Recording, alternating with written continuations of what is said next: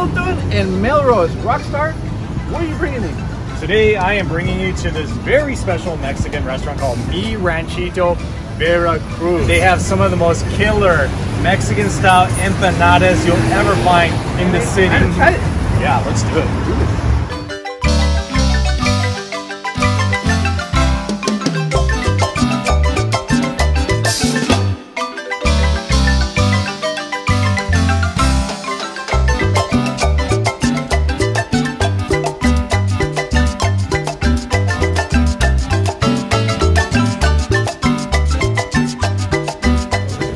Hey guys, look at this feast that we got here. We got it all. We're about to eat real good. Thank you to the chef and uh, Rockstar here. Are you ready, brother? I'm totally ready. Let's do it.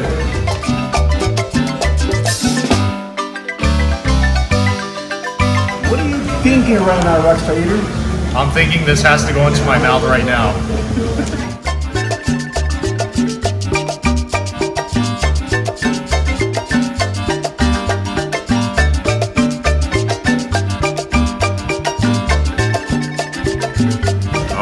Let's do it.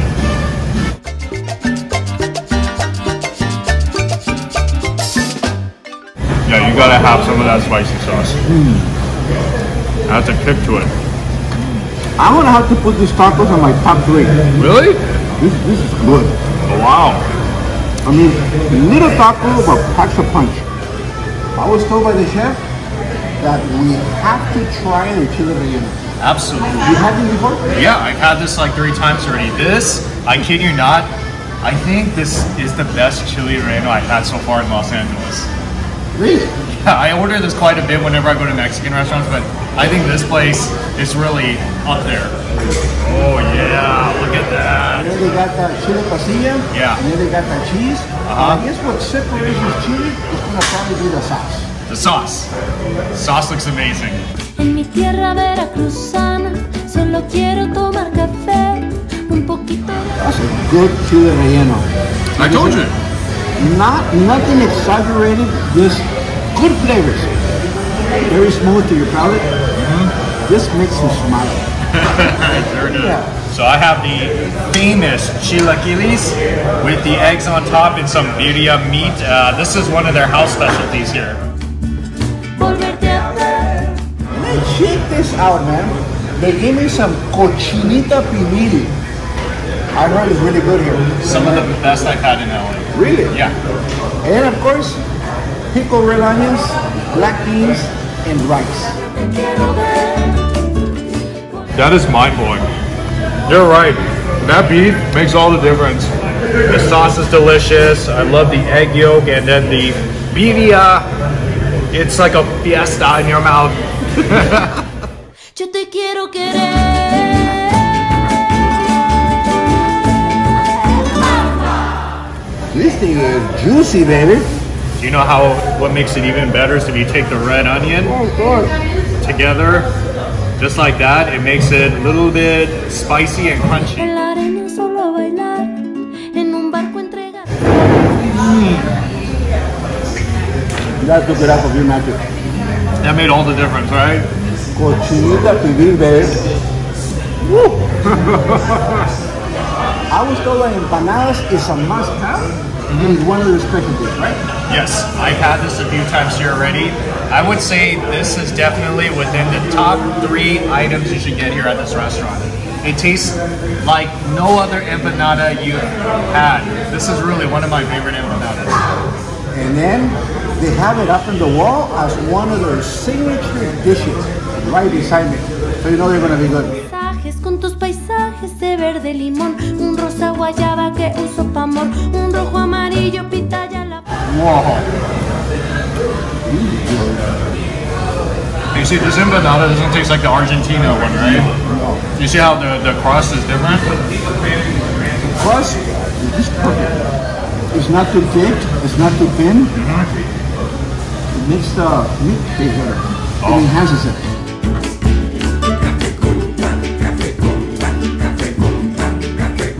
So we have your pico and sour cream and salsa, right? Yes, yes, yes, yes.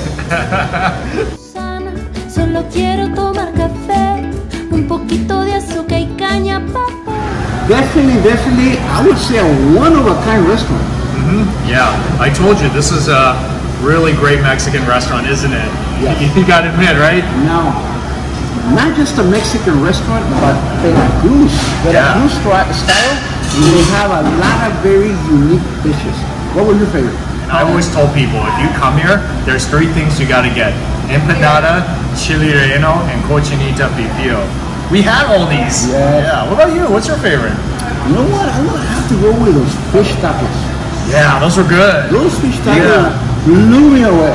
Saute with all the juices, all those uh, seasonings, and then a big piece of fish right on top. It Just melts in your mouth, And you know what? They even put the cabbage under, Yeah. under, so Yeah. can display how big that fish is. Yeah. It was juicy, it was delicious, and man, out of the world. Aquí tenemos el culpable, esto. Mira, preséntese a mi público.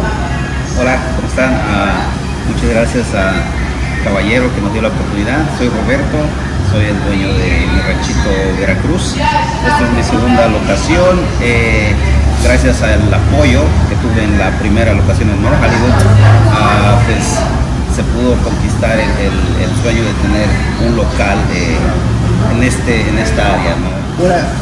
Veracruz. Vamos a dar un poquito en cuanto al estado de Veracruz. ¿Qué es lo que lo hace diferente a otros estados? entonces hay mucha variedad de, de- de mariscos. Ah, pero aparte de eso, pues sí, tenemos muchos antojitos, que son las empanadas, todo, todo esto de ah, tamales, como lo mencionó, eh, garnachas, todo eso es muy, muy popular ahí. Ah, tenemos la mejor naranja del mundo en Martínez de la Torre, que es de donde yo vengo. Véngase, traigan sus amigos, traigan a su familia. Les aseguro que van a comer bien sabroso y no se van a arrepentir. Veracruzano, All right, Rockstar Eater. That was really, really good. You liked it, huh? I'm very surprised how good that was. I'm Rockstar Eater. I know all the good places around here.